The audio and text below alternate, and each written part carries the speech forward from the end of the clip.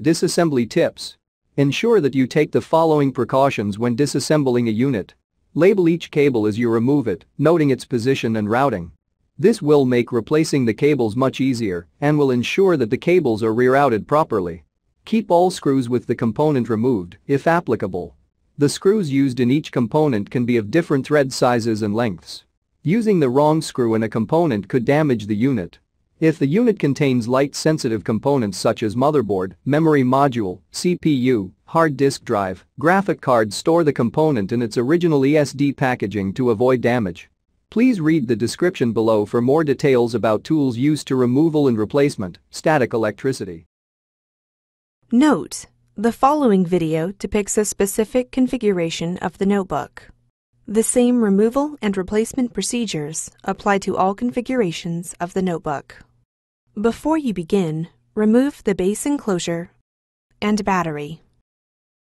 Removal.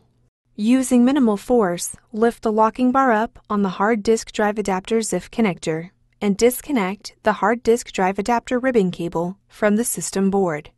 Caution: Use care to prevent damaging the ZIF connector and ribbon cable. Remove the hard disk drive assembly from its cradle on the top cover.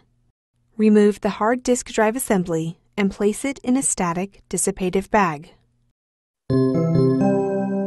Replacement Remove the hard disk drive assembly from the static dissipative bag. Place the hard disk drive assembly into the cradle on the top cover.